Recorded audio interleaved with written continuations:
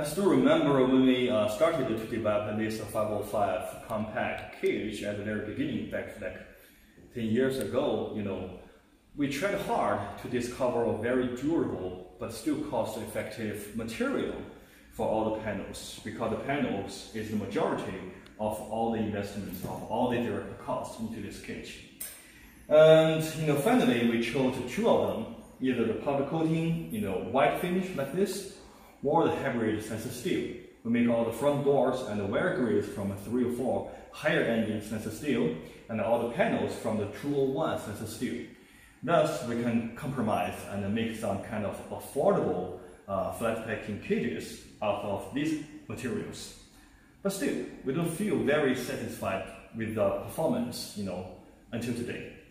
Because we always receive emails saying, you know, the door gets rusted, and either the panels get urine and rusted, you know, after a period of use.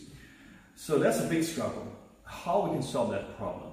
How we can satisfy all the customers and provide much longer durability and much nicer performance. Here, accidentally, we discovered this new material, which we call 55% aluminum and zinc alloy coating steel sheet. Very complicated. Let's just use abbreviation as a aluminized zinc coating steel. On this sheet, as you can see, it has been suffered from eight days highly condensed salty mist testing. Okay, it's like a uh, accelerated testing as a real uh, natural open air. So this one, compared to that, is a real 304 stainless steel.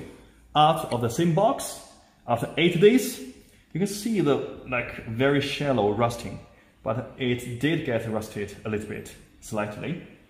But this one, only the border has a very, very slight corrosion signs. Not deep, not severe at all. So this one could be the ideal answer. Cost very affordable, very durable, and easy to process, easy to manufacture. That's going to be the ideal upgrading for the powder coating, lower end, cost effective solution on these cages. That's the sample we just made. Okay, the front door is still made from stainless steel, from powder coating, sorry. And we're going to make all the front door also from the same aluminized zinc alloy sheet. And all the panels on this cage, the top, the bottom, even the middle divider, has already been realized in the aluminized zinc.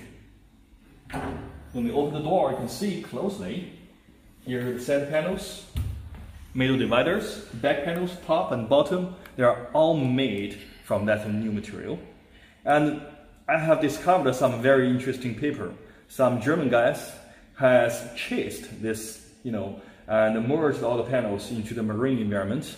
After 36 years, constant and continuous follow-up, they discovered this one is 15 times more durable than regular normal hot dip treatment, which could be the good answer for us. That's ideal. And we're assuming the final production cost for the fully made uh, aluminized zinc cage will be very, very similar to the powder coating version. Maybe 10% above, maybe 10%, you know, uh, more expensive. But considering that's a 10 times longer lasting, it's a good deal, isn't it? We're going to give you all the technical details very soon and give you the full exact quotation very soon too.